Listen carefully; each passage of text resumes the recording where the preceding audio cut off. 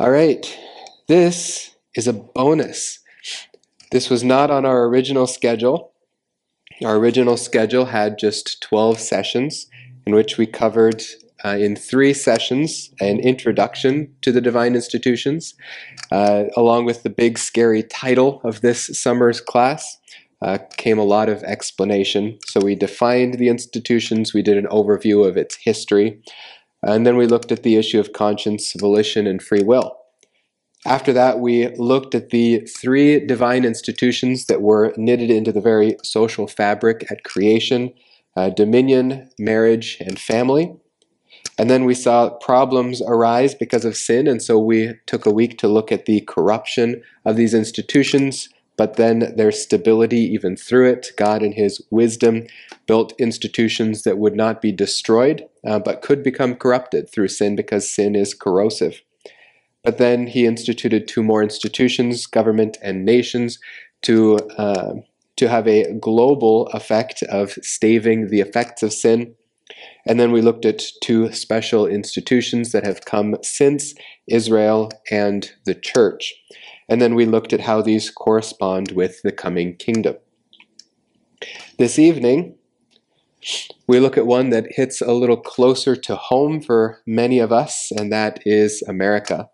America is not in Scripture anywhere, though we are a nation, and nations have been given mandates by God in Scripture, and we see, especially in the book of Daniel and in other books, how God operates with nations besides Israel.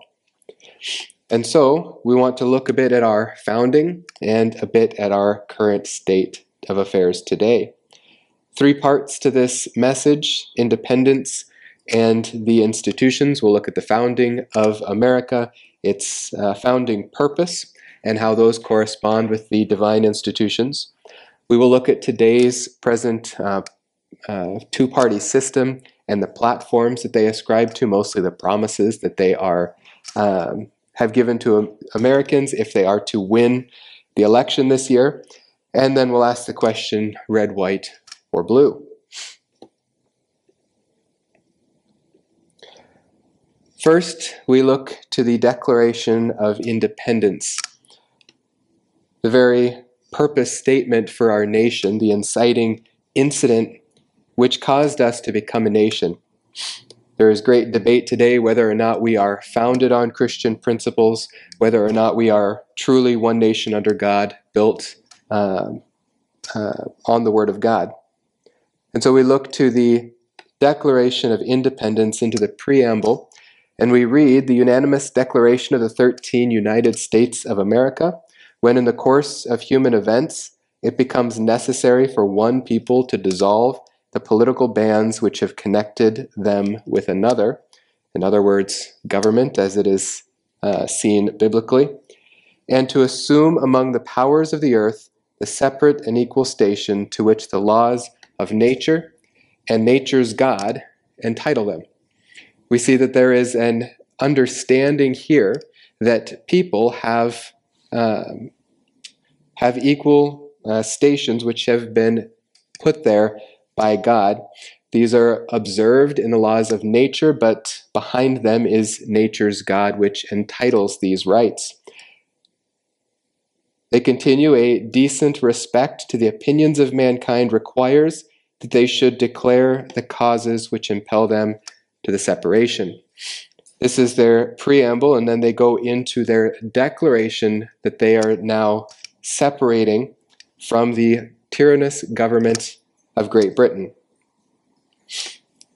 This is the part we are most familiar with. They write, We hold these truths to be self evident. Once again, looking back to the laws of nature that can be observed.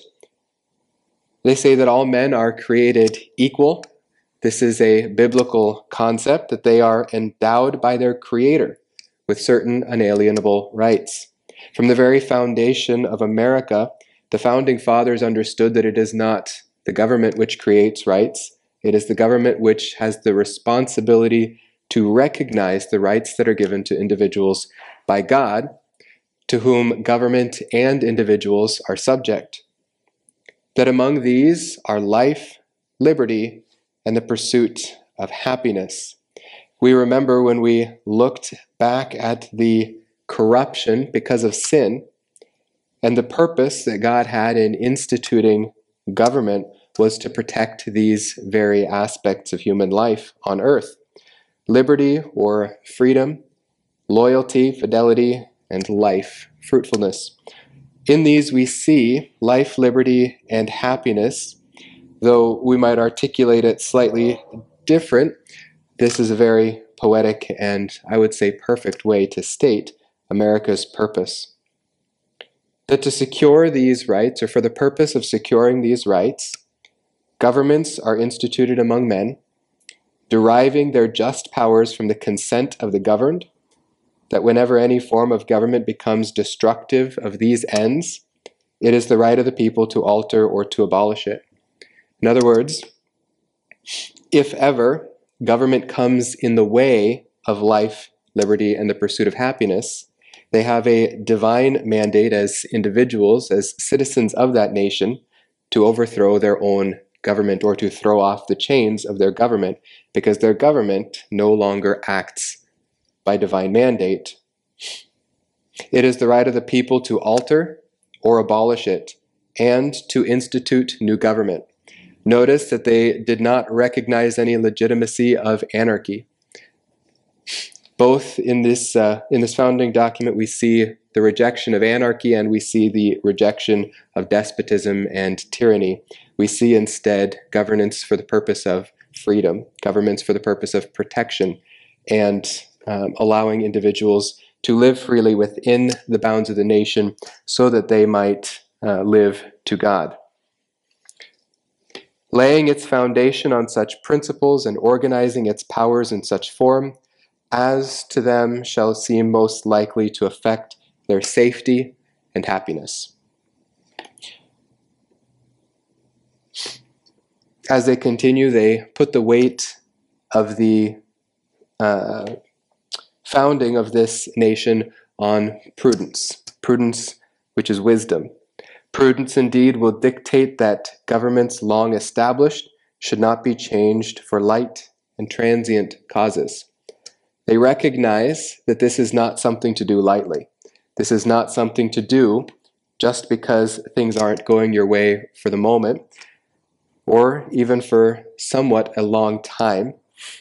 I think this is a very important thing for us to keep in mind. Whether elections go our way or not, that does not mean we overthrow the government. It means we do what we can to effect change within that government, within its bounds. We do have to respect the uh, divine institution of government as much as we are to instruct it. This is a very basic principle of conservatism. On the other side, we have liberalism, which constantly wants to throw off norms and standards and traditions. We see the wisdom of history, the wisdom of tradition, and what stands a long time generally does so because it works.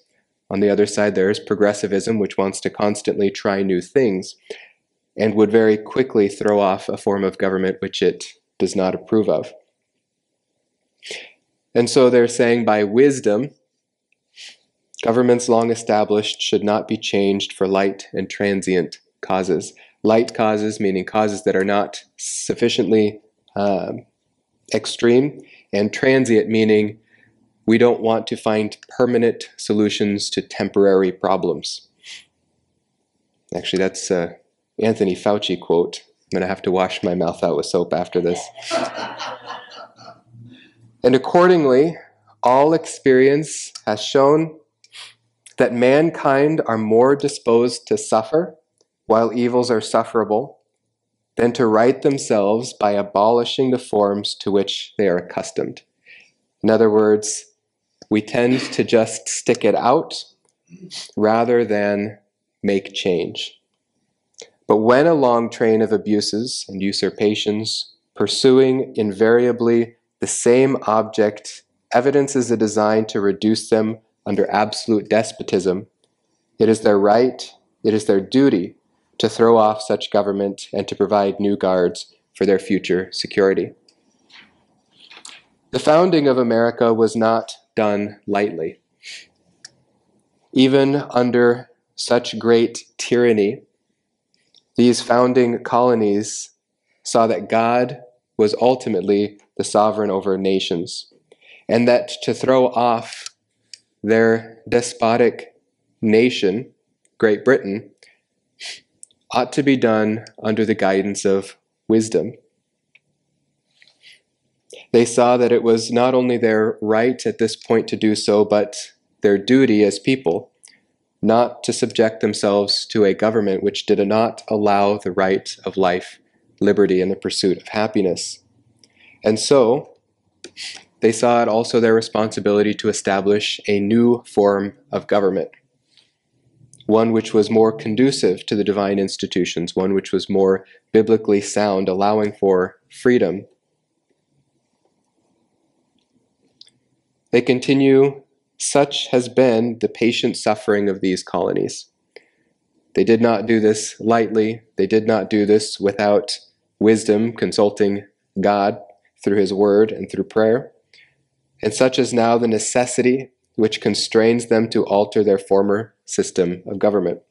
The history of the present King of Great Britain is a history of repeated injuries and usurpations, all having in direct object the establishment of an absolute tyranny over these states. To prove this, let facts be submitted to a candid world. We're going to skip the rest of all of this uh, evidence of the king's uh, tyranny against these colonies. Most of the page of the Declaration of Independence is listing his injustices. They come down to their conclusions, though, and in their concluding paragraph, they write this we, therefore, the representatives of the United States of America in General Congress assembled, appealing to the Supreme Judge of the world for the rectitude of our intentions.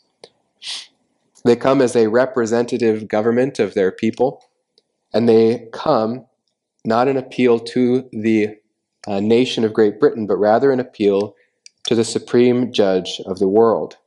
They recognize God's sovereignty as the ultimate sovereignty over any sovereignty of a nation, and they see that they are duty bound not to their nation but to God to protect those they represent by establishing a form of government which reflects God's design for human society. And so they see these intentions as justified, rectified before God. And so they do in the name and by the authority of the good people of these colonies, recognizing that they are not uh, in authority over the people they represent, but they are under the people's authority. They solemnly publish and declare that these United States are, and of right, ought to be free and independent states, that they are absolved from all allegiances to the British Crown, and that all political connections between them and the states, state of Great Britain is and ought to be totally dissolved. America, at its founding, was working against globalism. Now, we don't necessarily have a terrible problem with colonization as conservatives, but globalism is antithetical to Scripture.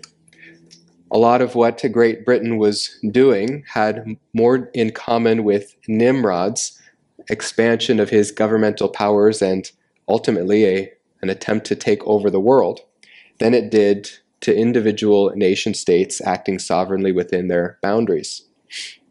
And so America is not trying to build a consortium of international uh, nation states through which to rule the world, but rather are seeking the freedom in their own land to pursue their own biblical values apart from the tyranny of the king. A word of explanation looking back one paragraph, what they mean by absolving all uh, uh, political connections. This does not mean that they will not uh, have foreign relations with Great Britain. It means that they are not duty bound to Great Britain under its government. They say, We have appealed to their native justice and magnanimity, and we have conjured them by ties of our common kindred to disavow these usurpations.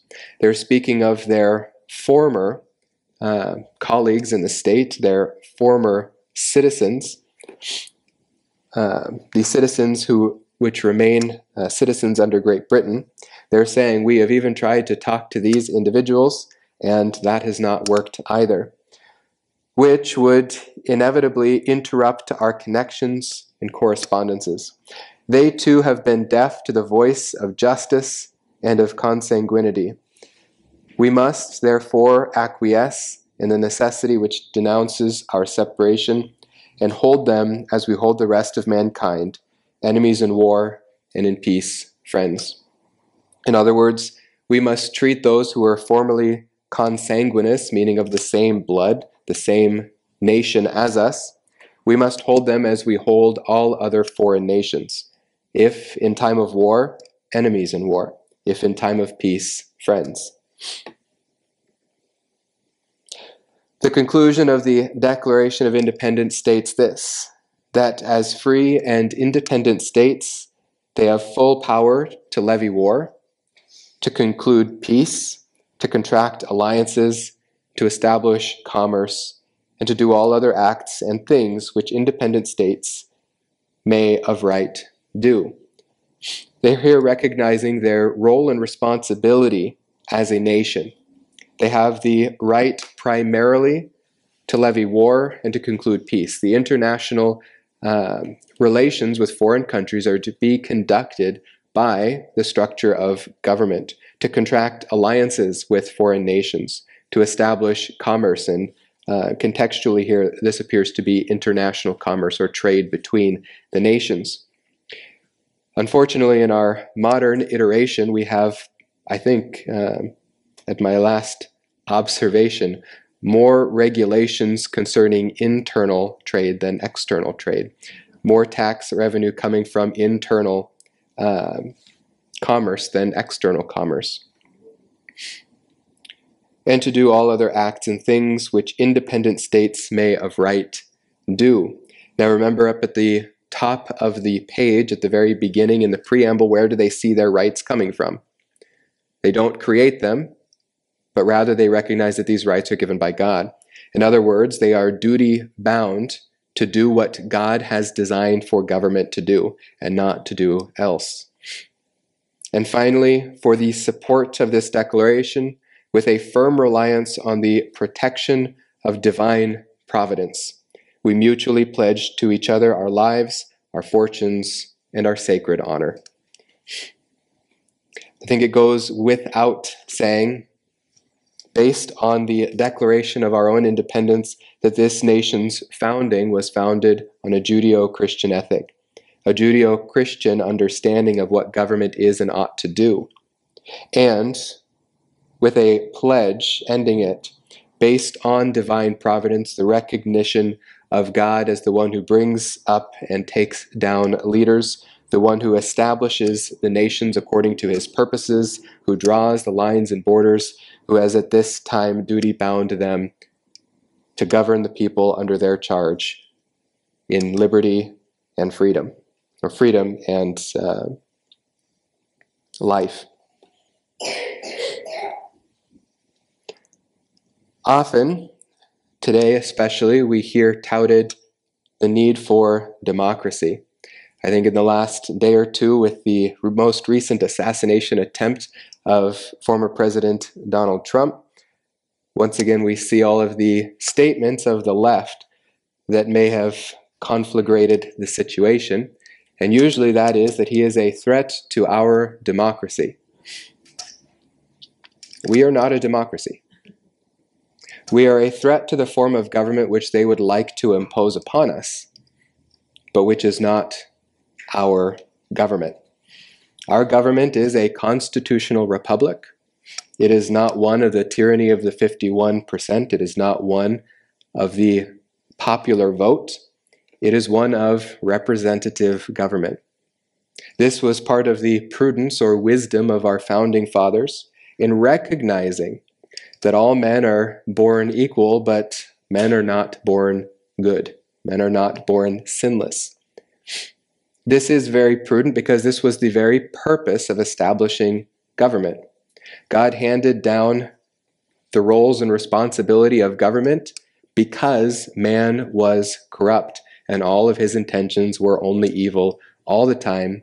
And God had promised not to destroy the world as he did in Noah's age, despite the fact that man was not good, that man would head towards further corruption. Government, if it does not recognize the very nature of humanity, does not recognize the nature of its responsibility.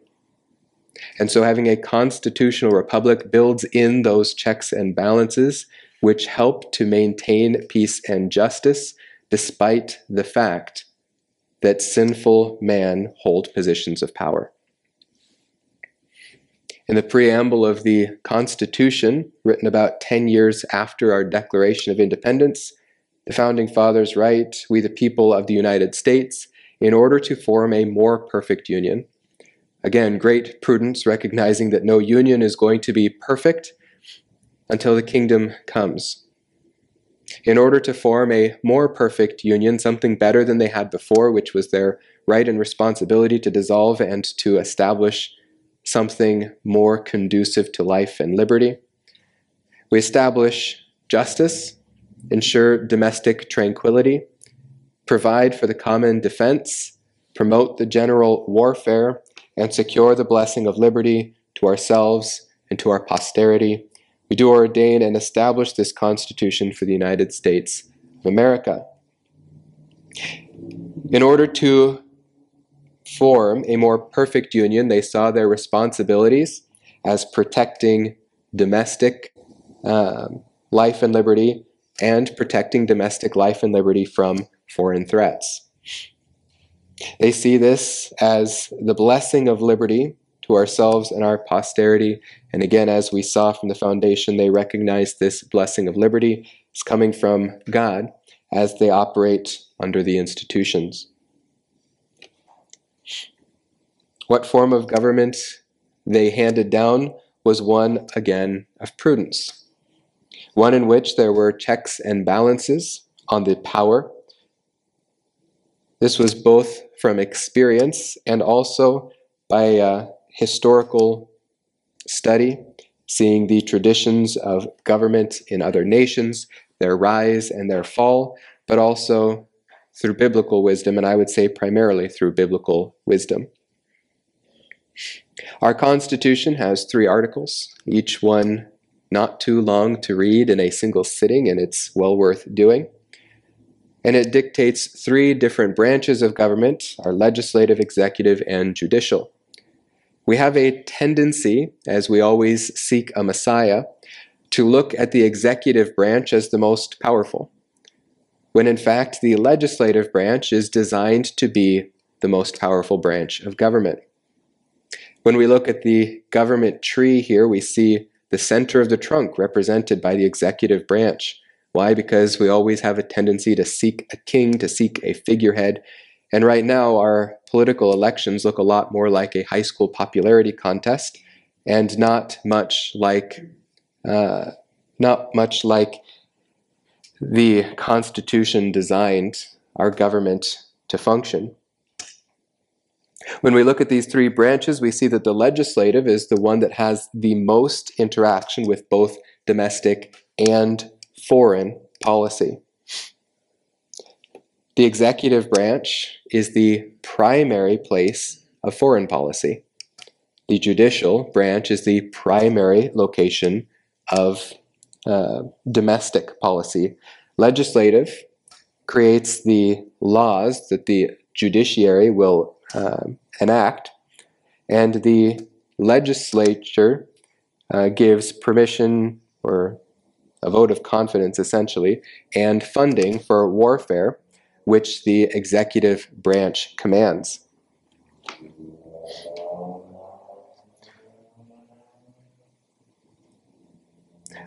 I do like in their uh, in the Declaration of Independence, their emphasis on the need for prudence, because as we go in, we see a lot of wisdom in how each of these branches are designed. We see that there is to be one president. Initially, there were not term limits on it. Now we have term limits. We see four-year terms in the Senate or the uh, Congress. We have two-year and six-year terms. and in the courts we have lifelong terms. These are not arbitrary by any means.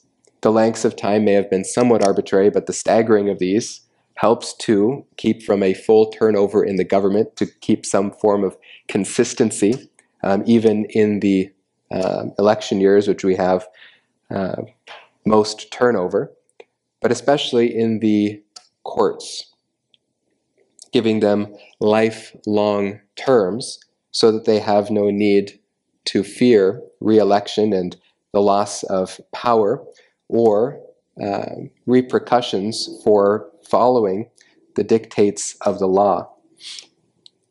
When we look at the presidential or the executive branch, we see that three different and very important branches come off of this.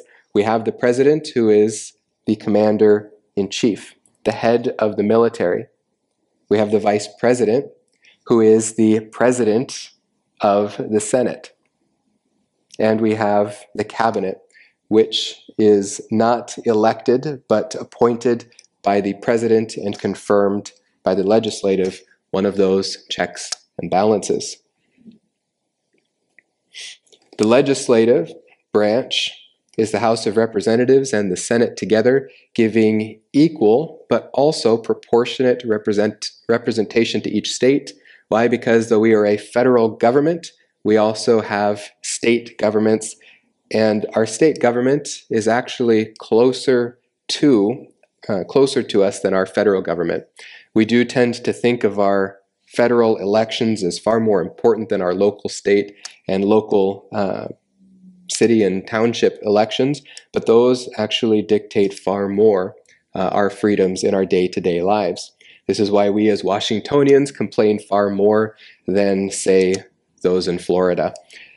Because we have a very left-leaning local government, and our freedoms are not necessarily the same as the freedoms of those living in Florida or other uh, states, uh, which tend to lean more conservative.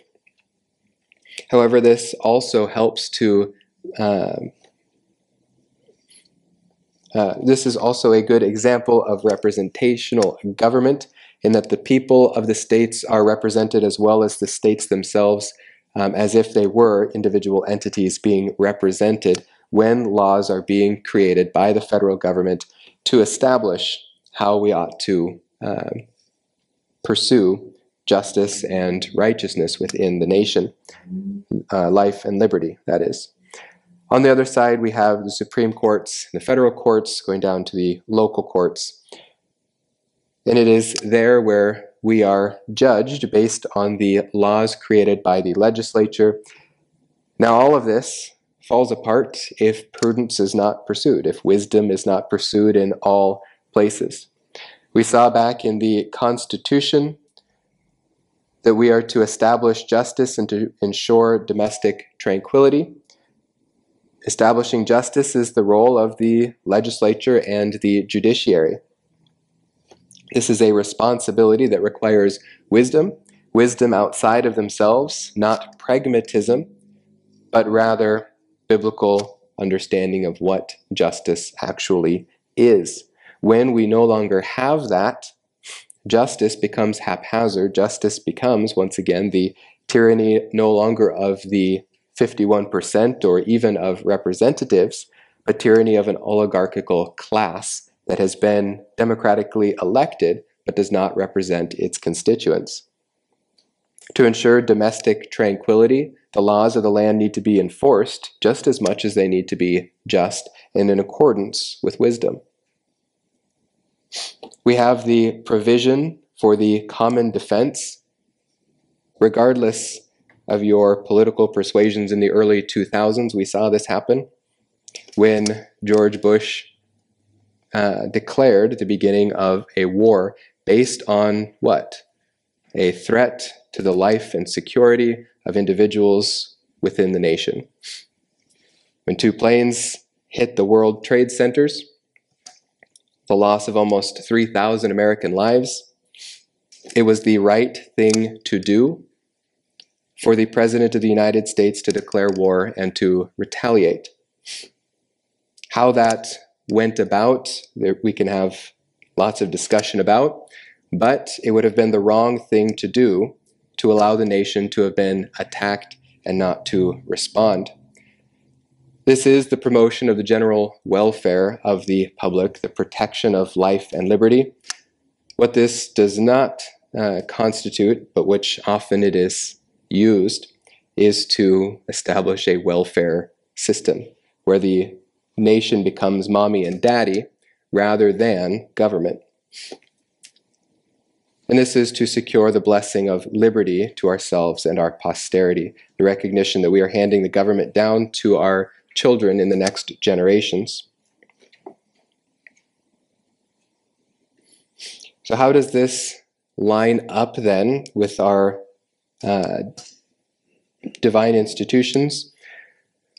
We saw that this was very wisely established to protect and uh, from evil internally and externally. It stays within its bounds, in other words. It establishes government and it establishes foreign policy. That's what a government is supposed to do. Government is not here to mandate the individual lives of those uh, living within it. Yet, those are the primary aspects of our arguments today on the political sphere. We do have a two party system kind of de facto here in the United States. It's always a Republican and a Democrat uh, come election day. Sometimes there's a bit of a spoiler in there, but these two represent two very different, diametrically opposed ideas of liberty and freedom. For this, we're just simply going to look at the promises in the Republican platform and the table of contents in the Democratic platform. They did not have a, a nice and concise list of promises, uh, essential mandates in their platform, but their table of contents is very instructive nonetheless. The Republican platform lists these promises to seal the border and to stop the migrant invasion, a recognition of uh, national sovereignty and the division between one nation and another. To carry out the largest deportation operation in history, in other words, to empower ICE and the police to actually enforce the laws of this nation, for the nation to do its job. To end inflation and to make America affordable again. Here it doesn't indicate how, but as you read on in the party platform, we see this is by cutting regulations that America has put on the working class and on uh, uh, corporations that hinder their ability to uh, essentially have money to pay their people or to innovate within uh, within that uh, economy. To make America the dominant energy producer in the world by far, Again, how do they uh, intend to do this? As you read on, you see this is once again by cutting regulations. Most of these regulations have been inserted because of uh, climate ideology, not because of prudent governance. To stop outsourcing and to turn the United States into a manufacturing superpower, large tax cuts for workers, and no tax on tips. Uh, this he actually has expanded in recent weeks. No tax on tips, no tax on uh, the money that old people get. What's that called? Thank you, Social Security. You're on Social Security already, Jenna? You're just a spring chicken. 30 years disabled, so. Okay. I'm 63, so. Okay, that's not old then, that's disabled. Mark's old, you just called her elder. Okay, his title is literally elder. no offense, Mark. No offense. I am an elder, yes. Yes, I kind of feel like a Mormon sometimes.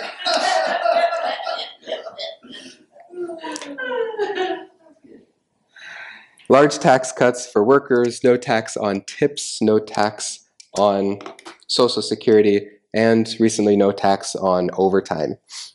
All of these are meant to help individuals keep their own product so that they can invest it wisely in their future and in their success. To defend our Constitution, our Bill of Rights, and our fundamental freedoms, including freedom of speech, freedom of religion, and the right to keep and bear arms. To prevent World War III and to restore peace in Europe and in the Middle East, and build a great Iron Dome missile defense shield over our entire country, all made in America. I'll be honest, until I looked at the Democratic or the Republican platform this week, I did not know that that was in here. Um, that's very interesting. Uh, but to prevent World War III and to restore peace. This is ultimately the purpose of warfare. It is not to go and find uh, places to expand your power and your influence in the world, but to restore peace for the people under your charge. To end the weaponization of government against the American people. That is a very telling promise, one that uh, indicates very well what is happening today, especially with all of the government regulations on the first divine institution, the divine institution of dominion, which um, instructs us to work. To stop the migrant crime epidemic, demolish the foreign drug cartels, and to crush gang violence, and to lock up violent offenders. This is a two pronged fork dealing both with our domestic and our foreign government to seal off the border, as he, they said in the very first promise, and to go beyond sealing it off and to deal with the problems that have sprung up because the border is leaking like a sieve, bringing foreign nationals into the United States who are committing crimes, not being prosecuted for those crimes, and also not being deported when they commit those crimes. Also, keeping in mind that crossing the border illegally is a crime. Uh, to rebuild our cities, including Washington, D.C., making them safe, clean, and beautiful again. To strengthen and modernize our military, once again understanding the role of government, making it without question the strongest and most powerful in the world. This is not to conquer the world, once again, but this is so that we can protect against any threat that the world might pose to our safety our liberty, our freedom within our nation. To keep the US dollar as the world's reserve currency. This is to protect our uh, first divine institution because the government does not produce, the government protects. To allow individuals to produce, to innovate, to better their own lives, to better the lives of their children, to provide for their own children. The government provides protection. And part of this, yes, is economic protection against uh, foreign governments, which would, or foreign um, threats to our, uh, our domestic economic freedoms. When we look at the uh, budget for 2023 in our country, we see that defense is one of the largest individual uh, budgetary items here at 13% of the budget. This is often a point of debate. All of the Democrats get all up in arms that we're spending way too much on defense and we should be spending more on other mandatory programs.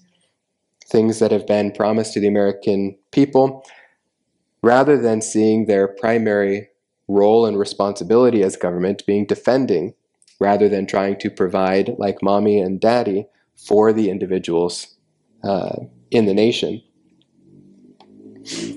What ends up happening is they make people so dependent on the government for their income by regulating and making it impossible for wealth to actually accumulate among the population uh, that you need to go to mommy and daddy government just in order to survive.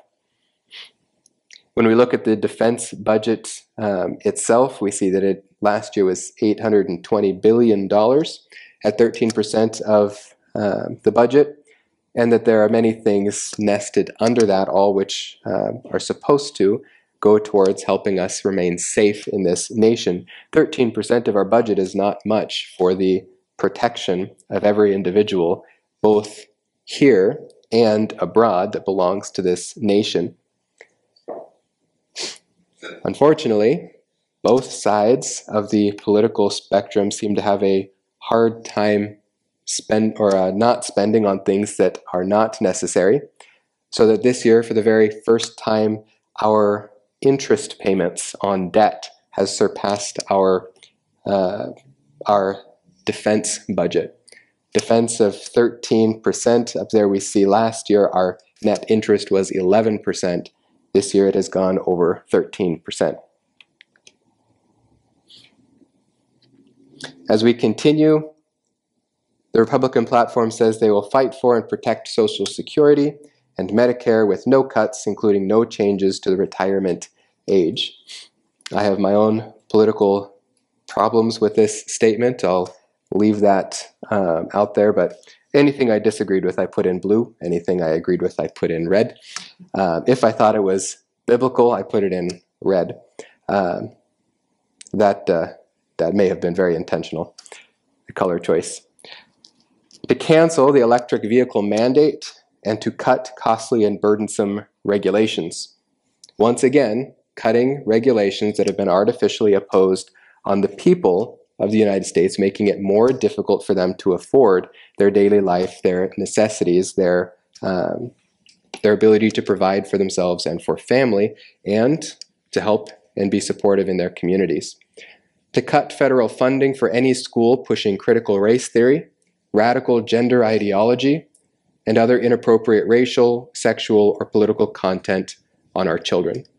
This, I think, is one of the most to the point promises in the Republican platform that promises adherence to a biblical view of government, the divine institutions, protecting our marriages and families from what government would push on them that is contrary to wisdom. To keep men out of women's sports, to deport pro Hamas radicals and to make our college campuses safe and patriotic again, to secure our elections, including same day voting, voter identification, paper ballots, and proof of citizenship. To unite our country by bringing it to, uh, bringing it to new and record levels of success. Life, liberty, and the pursuit of happiness seems to be the main thrust of the Republican national platform. When we turn to the Democratic platform, we do see things that uh, are consistent with the divine institutions, but the problem is how many we see that are not consistent with it. Problematically, uh, and this again was just a table of contents, they are topics which are important in the arguments of uh, how we ought to live. But when they go in and express their plans of how to do these things, or what they think ought to be done about them, very often what they promote is contrary to biblical wisdom. They seek economic progress. This is well intentioned, but how do they plan to do this? Investing in America. Uh, I think we all saw the interview that Kamala gave to a obscure news uh, platform the other day where she was asked for some specifics about how she plans to invest in America. And her answer was she grew up in a middle class home and people really liked their lawns. Yeah. and her conclusion in that is we have to invest in America. There are no specifics given. They want to create good jobs. Now, I have a problem with this on both sides of the aisle when the Republicans or the Democrats in power say they are creating jobs. It is not the government's role to create jobs. It is the government's role to protect freedom so that you can produce and maintain a job. Democrats used to be very well known as the uh, the party of the working class man, promoting small businesses. While they still remain on the outside, or they still claim this on the outside, what we see in practicality is that they are more interested in supporting big pharma and big government uh, and big ag rather than uh, protecting small businesses. In fact, it was small businesses that were most um, affected by the coronavirus lockdowns under the Biden administration. Fighting poverty, ending special interest giveaways. Chapter 2 looks at rewarding work rather than rewarding wealth. In principle, that's a good idea. Rewarding those who work hard rather than just rewarding wealth. But in America, how does one become wealthy? There are a few ways how an individual becomes wealthy, but ultimately wealth accumulates through hard work. It might be handed down from generation to generation. That should not be punished. Just because a family has been innovative, a family has worked hard, and has, over its generations, lived the American dream of building up their wealth does not mean they deserve to have it taken from them and redistributed to those who have not. They do promise tax cuts for working families. They promise that anyone making less than $400,000 will not have any tax increases, but this is a promise they have given before. And the problem is, it never bears out. Every time they put in tax cuts, what ends up happening is the individual pays more in taxes. In fact, we remember back to the Inflation Reduction Act that was uh, put in place two years ago. Um, it was one of the uh, chief accomplishments of the Biden administration. And just recently, Biden has admitted that it should have been named what it actually is uh, because it had nothing to do with lowering inflation. It had everything to do with uh, climate ideology. Often, they say one thing and do another, and that's the problem. Making the wealthy and big corporations pay their fair share. What they mean by this, because they operate not on equality but equity, is to make them pay more than their fair share. Not to treat them equally, but to treat them equitably. Because they are more successful, they ought to be brought down to the same level, and others ought to be lifted up to their level artificially. Chapter 3 Lowering Costs Healthcare and prescription drugs, childcare, home care, paid leave, gas and groceries, corporate greed, housing, education, social security, pensions, and Medicare. All of this boils down to government subsidies and artificial regulations on corporations that would increase prices, such as gas and groceries. Unfortunately, what happens there when you try to regulate what uh, is so called uh, price gouging, uh, first, it's economically um, ignorant because they do not understand all of the prices that go into a price that is posted and how little is actually made by each individual at each stage when they regulate the prices of these things, the thing becomes more scarce because it's more expensive to make, more expensive to produce, more expensive than for us. They want to subsidize all things like housing and education and healthcare and childcare. And once again, this is removing the responsibility from the individual under the first divine institution and handing it over to the government to produce for the individual. Chapter 4 Tackling the Climate Crisis, Lowering Energy Costs, and Securing Energy Independence. Ironically, it was the Biden administration that ended our four year string of energy independence under Donald Trump. They want to produce cleaner, more affordable energy. They do want to produce cleaner energy. Unfortunately, every way that they go about this does not actually produce cleaner energy. I don't think they have any intention to make affordable energy. This seems to be just plainly a lie. And when you go into their platform and you see how they plan to do this, it's utter nonsense. It's not cutting regulations, it's adding more regulations. Lowering energy costs. Creating clean energy jobs. Once again, creating jobs reducing pollution and making polluters pay. Problem with this is, once again, it is arbitrary. It is not equally uh, affected within the country. And essentially, what this turns into is policing the individual's ability to uh, promote and uh, procure their own pursuit of happiness within the freedom of this country. All of this is really wrapped up, I think, in this one point I've highlighted in purple environmental justice. Notice that to this point, we're in chapter four of the Democratic Platform, their actual roles and responsibility as government have barely, if even, been touched. When they finally get to the issue of justice, which they should be uh, very keen to do, we see that it's not cr- criminal justice, it's, it's environmental justice. Building climate resilient communities, conservation, and glo- global climate leadership. This is one aspect of globalism here. Chapter 5 Protecting Communities and Tackling the Scourge of Gun Violence. Gun safety, policing and public safety, criminal justice, violence against women.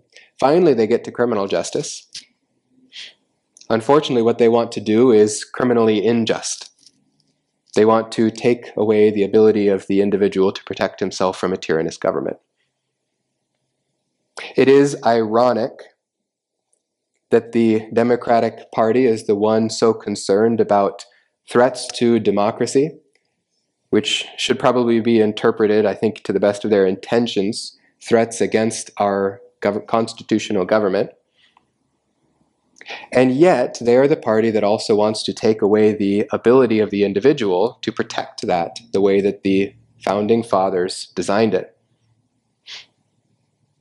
It seems that the ones who are loudest about protecting the Constitution actually are working against the protection of the institution or of the Constitution. This is the longest chapter. Chapter 6 Strengthening Democracy, Protecting Freedoms, and Advancing Equity.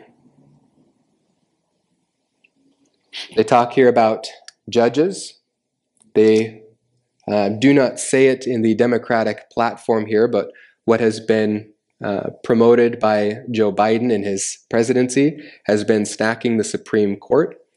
They were very unhappy with the actual due process checks and balances of Donald Trump putting three justices on the Supreme Court for lifetime terms, three justices which interpret the Constitution in context. Rather, they want to put on justices that interpret the Constitution as a living and changing document, one that is not found in absolute truth of the letters of the text. Voting rights. Remember, the Demo- or the Republican platform wants to make sure that voting is fair and protected. Here, voting rights, when you go in and read the platform, what it wants is for people not to be checked for their citizenship, not to be required to have um, uh, identification, and not to have paper ballots, but to have mail in ballots and to be able to vote early. All of these things work against our ability to ensure free and fair elections. Stopping the influence of special interests, reproductive freedom. One of these uh, very uh, carefully crafted terms, which actually means the right of a mother to kill her own child. Women's rights, racial equity, again, not equality, racial equity, spurning the flames of racism in America. If you have not seen it, I, re- I really recommend going to see Matt Walsh's new movie, Am I Racist? It is excellent movie. I saw it on opening night and I was laughing the entire time but it is also a very serious topic that he handles very well. They have a whole section here in chapter 6 on LGBTQI plus issues. They are very uh, uh, pro word salad here. The issue of disabilities, of tribal nations, combating hate and protecting freedom of religion and freedom of the press, arts and humanities. And this is an interesting one that they tack in here DC, Puerto Rico, and territories. These are two very democratically leaning territories that they would like to uh, install as states, which would swing the power of the Electoral College very squarely in democratic power. Just like stacking the courts would allow them to uh, basically push through their own mandates, so uh, turning DC and Puerto Rico into states would help them swing the um, electoral college towards democratic uh, candidates in every foreseeable election. So, when they say that Donald Trump is a threat to democracy, that there will never again be a free and fair election, that there will never again be a Democratic uh, candidate who can win if Donald Trump gets in there and changes everything and enshrines himself as permanent dictator. Uh, everything in their platform is geared not towards the protection of individuals, their freedom, their liberty, and their pursuit of happiness, for them to do for themselves what they can to get up a leg in this world. They want to artificially lift up some, artificially press down others, and to enshrine themselves as the power class for the foreseeable future. Chapter 7 Securing Our Border and Fixing the Broken Immigration System. How many times did they rail against Donald Trump for building a uh, border wall? This is racist. This is anti democratic. This is contrary to everything the president should be doing when his job is protecting from foreign threats. Suddenly, when she was trailing in the polls, Kamala Harris comes out for securing the border wall. Expanding legal immigration and deterring illegal immigration. Chapter 8 Advancing the President's Unity Agenda, beating the opioid epidemic, investing in mental health, protecting kids online, strengthening America's data privacy, and promote promoting competition, ending cancer as we know it. Now, if you think they have no answers for how they're going to invest in America, this one they truly have no answers for. And meeting our nation's sacred obligation to veterans and military families. Lastly, Chapter 9 Strengthening American Leadership Worldwide, Europe, Indo Pacific, China, Middle East, North America, North Africa, Western Hemisphere, Africa, strengthening the U.S. and global economy, leading with diplomacy and American values, strongest military in the world. Now we share in the Republican platform having the strongest military in the world, but when you go in and you read what they mean by strengthening American leadership worldwide, it essentially is globalism.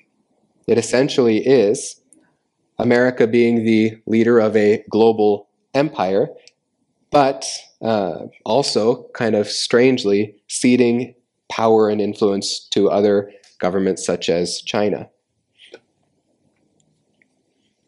Now, in all of this, uh, my political leanings are blatantly obvious, I think. Um, but we ask the question red, white, or blue? We can go decades, generations, thinking that we are going to have uh, everything that we have ever hoped for or needed in life because our president got in or our presidential candidate was elected or we think the world is over because the one that we didn't want gets in. The left survived four years of Trump. Most of them got tax cuts. We just survived four years of Biden. You're here. You are here. It's not easy. Yes, our finances to Yeah. No, it's not easy. It's not always easy. But I think we would be just as disingenuous to say that we can't survive four years of a Democratic president as the left is when they say they can't survive four years of a Republican president. Why? Because of the wisdom of how this nation was established. Just like our founding fathers, we're not going to throw everything to the wind because these four years aren't going to be easy. Because these eight years might not be easy. But there does come a time, and hopefully it's not in any of our immediate futures, though I think some of us start to see the writing on the wall. There would come a time in which it would become our right and duty to throw off such a tyrannous form of government, and it would equally be our duty to establish another form of government that would probably look a lot like the origins of our own nation, returning to that good foundation. But we know that however young our country is, just 250 years old almost, that doesn't mean we are too big to fail, doesn't mean we're too young to fail. Nations have lasted longer and nations have lasted shorter than America. Nations have risen and fallen for lesser and greater reasons.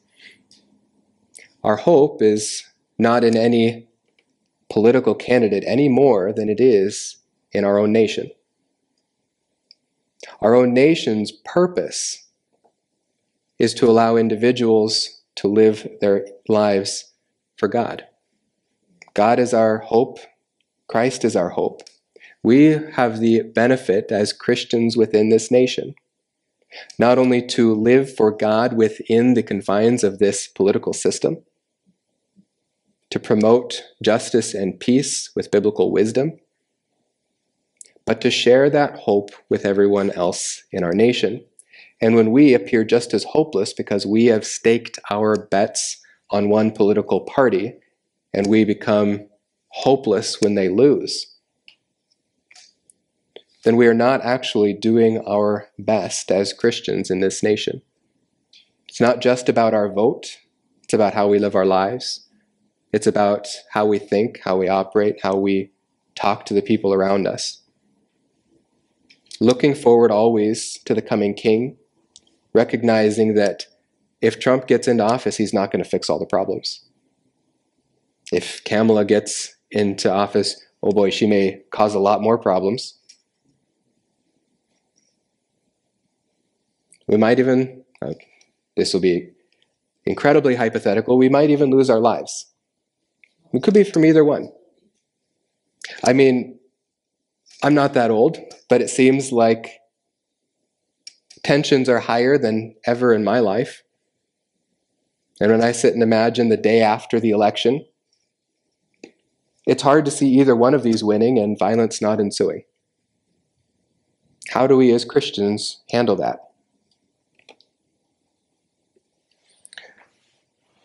Before we come to our conclusion, let's look at these seven divine institutions and just rhetorically ask ourselves which party will allow us the most freedom to live our lives for God.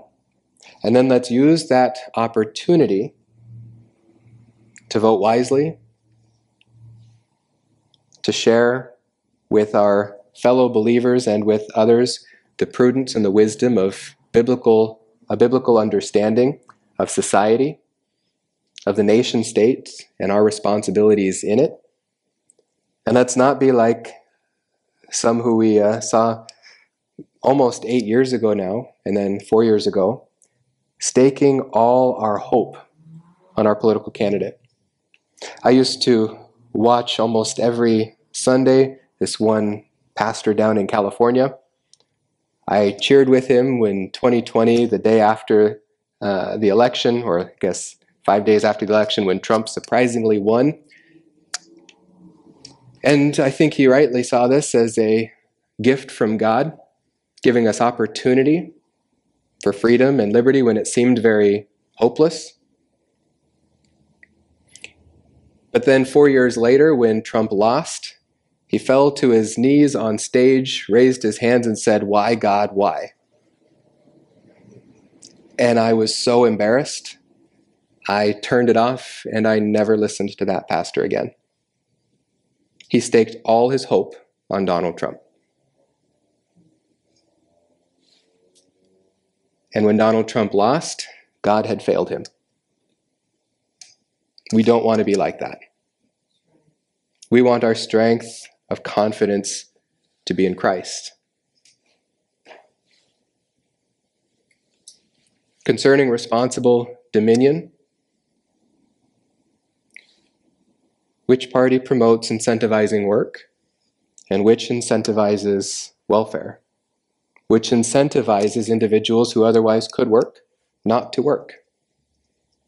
For some, it's cheaper to sit home and receive welfare than to go and get a job and be taxed through the nose. Which one promotes taxation and redistribution of wealth? Now, when we think of this down at its very roots, taxation, especially overtaxation, is the government taking your money and spending it on your behalf as if they are more responsible with that money than you would be. Which party platform increases the regulatory burden on the economy? Concerning marriage. Now, this is one where both party platforms don't have much to say. They have some, especially in feminism and transgenderism. But both party platforms have accepted most of this.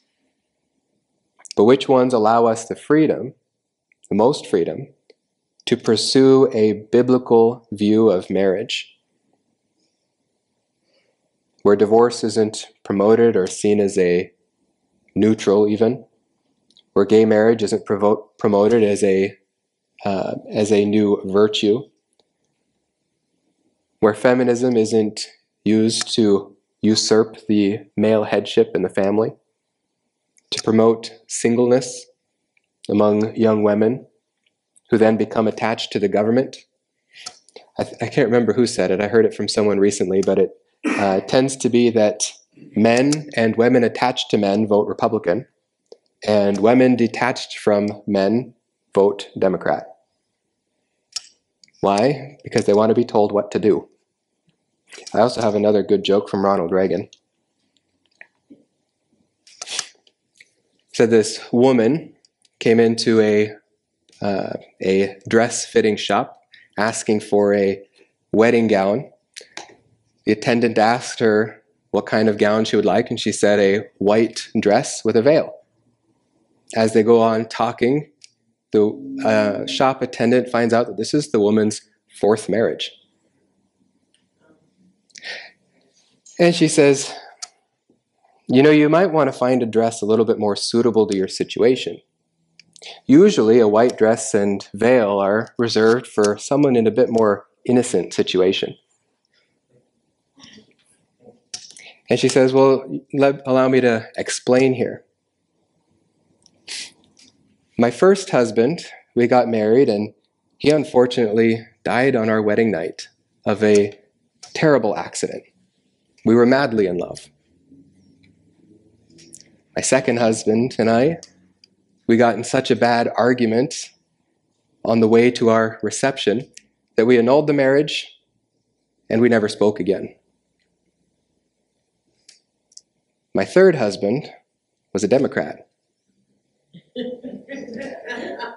He sat on the bed that night and told me just how good it's going to be.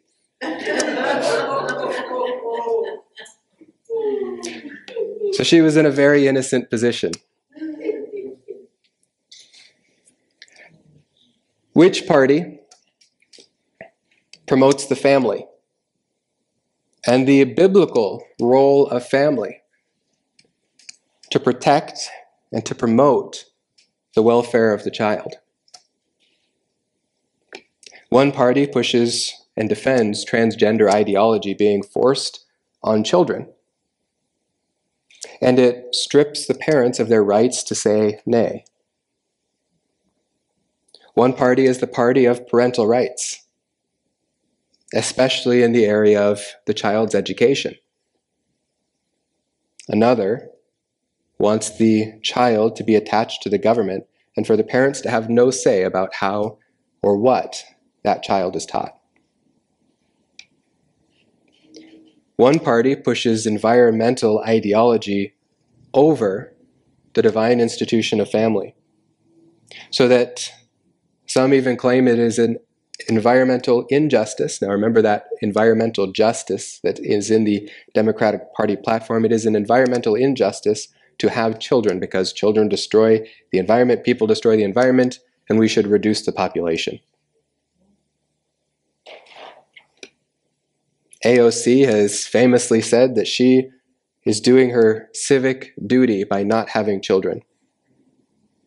None of us can complain, I think. But at the same time, that is the wrong message, especially for a representative of the American people. One party promotes abortion, wants to enshrine it as a federal right. Unfortunately, this year's Republican platform has scrubbed the abortion issue. But under the last uh, Trump uh, administration, he appointed the conservative judges who overturned Roe v. Wade and turned the issue back to the states, allowing greater representation of the individuals within those states.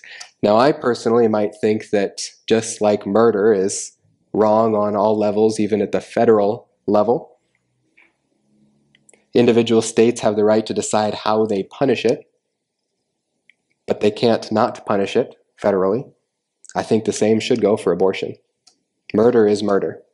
But Republican and Democrat is a mechanism for winning elections. The party platform is just that.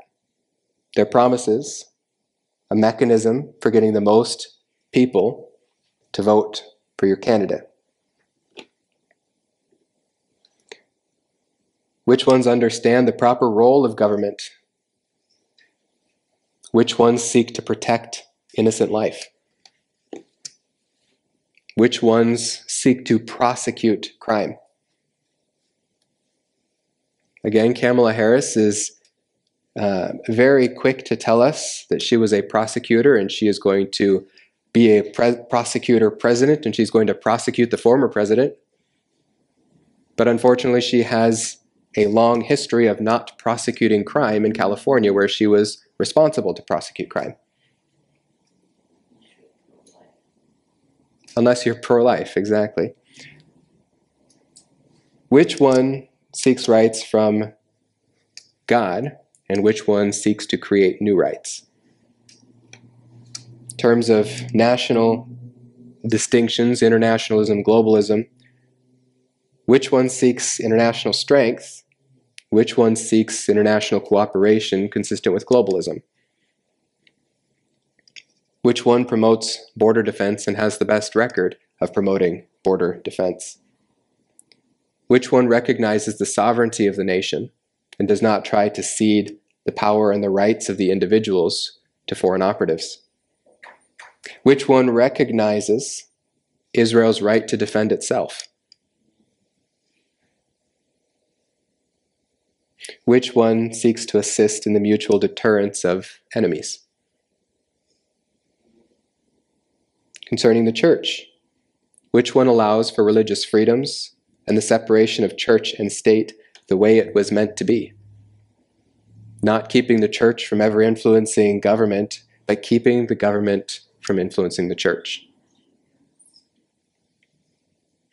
We have had too many generations go by now thinking that it is inappropriate to talk about politics from the pulpit because it's divisive. Politics is the fabric that knits us together in a polity, how we choose to live together. And if that is not based on biblical morals, if that's not based on biblical wisdom, what is informing it? James is very clear that there are two different kinds of wisdom. If the wisdom of God is not allowed to inter- influence our politics, then it is the wisdom that is natural, demonic, and from below. This might be why our country is in such bad state today. Because the church has been silent for decades about just simply talking about morals in the public sphere. We want to moralize everyone, make everyone feel bad for not acting like Christians, but we don't want to actually vote like Christians. Which party will allow us to, to pursue the freedom of a Judeo Christian ethic, to promote those things which are righteous and just? and to speak against those things which are unjust, which are contrary to God. I'll end with two verses here, looking forward to the Lamb and his perfect righteous government. Because although we will all make a decision here in 2024 about how we are to live the next four years under which platform, ultimately, our perfect government is on its way. We have the guarantee that we will one day enter in because we have trusted in Christ. Isaiah 9 6, the prophet writes, A child will be born to us, and he has been. A son will be given to us, and the government will rest on his shoulders. His name will be called Wonderful Counselor, Mighty God, Eternal Father, Prince of Peace. We should not treat any political leader as if he were worthy of these titles. Even a human Messiah would not be worthy of these titles, but only a divine Messiah, which is Jesus Christ. The prophet continues there will be no end to the increase of his government or of peace on the throne of David and over his kingdom, to establish it and to uphold it with justice and righteousness from then on and forevermore. And political action and equity will accomplish this? Not by a long shot. The zeal of the Lord of hosts will accomplish this. We are not going to bring in the kingdom by political activism. We make our lives more comfortable so that we can live peaceably and quietly in this life. That is the role of our vote.